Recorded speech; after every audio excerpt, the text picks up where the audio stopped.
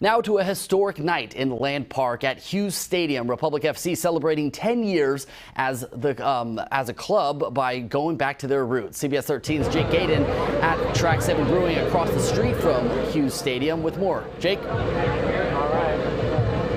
Yeah, Brady, Republic FC bringing it back where it all began. And like you said, the Indomitable Club celebrating 10 years of existence, turning 10 years old. And what better way to celebrate a decade of existence than a pregame festivity here at Track 7 Brewing Company? I'll set the scene for you real quick. Now, here's the fun part. All these fans that are pregaming the game going to recreate the March of the Match, a group walk over to Hughes Stadium just like they did for the first game in Republic history 10 years ago That is set for around 6 p.m. tonight. Now, the first 10,000 fans in attendance will receive a commemorative t shirt as well tonight. As for the game, Republic FC taking on rival Orange County SC, a team they actually played against in Hughes Stadium in 2014, where SAC won 2 to 1. Head coach Mark Briggs is trying to re recreate that today we've got to we've got to perform. For me, that's the that's the main objective. It's nice, and it's going to be a fantastic atmosphere, and it's going to be really exciting for everyone to be involved in. But we we've we've got to perform. We've got to we've got to go and do our jobs.